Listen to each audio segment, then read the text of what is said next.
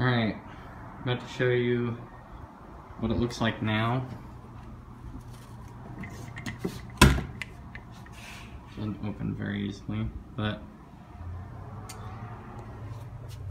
that's a wet spot. That's from where I was cleaning with antibacterial stuff because there was a ton of dust in here. It was an absolute mess. Some of it's still drying from where I was cleaning, but it was horrendous in here. The amount of dust that could just come up into the vent. I put a new vent in, a new filter, myself.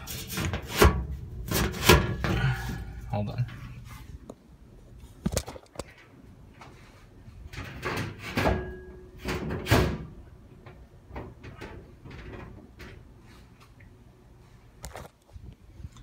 Put a new vent in myself after cleaning all of this because it was absolutely disgusting. I still can't reach far back there, as you can see. There's still some debris, some crap, but that's what it looked like all over. At least, generally where it's sucking up air now, it's pretty clean. But then, yeah, there's the, there's the water I was using all the debris and crap that I pulled out.